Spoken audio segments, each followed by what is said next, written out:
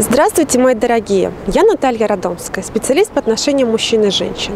Сегодня мы поговорим на такую тему, что категорически нельзя говорить мужчинам. Прежде всего, нельзя первой признаваться в любви, потому что тот, кто первый признался, тот проиграл.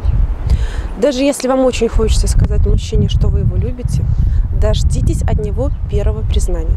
Если мужчина не хочет вам говорить, либо вы ждете, ждете, этого не происходит, но у вас отношения продолжаются, ни в коем случае нельзя у него спрашивать, а ты меня любишь? А как ты меня любишь? А что я для тебя значу? Этим вопросом вы поставите себя в позицию нуждающейся в мужчине. А нуждающиеся женщины никому не нужны. Мужчине нужна та женщина, в которой будет нуждаться он сам. Я надеюсь, это понятно, да? И следующее, что нельзя говорить мужчине. Я без тебя не могу.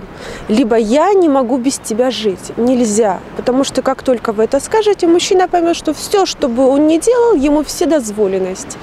Если вам очень хочется сказать, выйдите в лес, я не знаю, куда-то в поле проорите, я без тебя не могу, без тебя умру и все такое. Но мужчине никогда такого говорить нельзя. Нужно, чтобы мужчина первый и мужчина, чтобы сам говорил вообще вам слова «люблю», «не могу жить без тебя».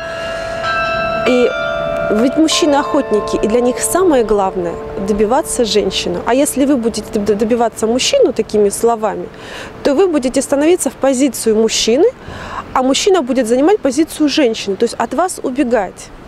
Понятно? Подписывайтесь на мой канал, становитесь моими клиентами, а с вами была ваша Наташа.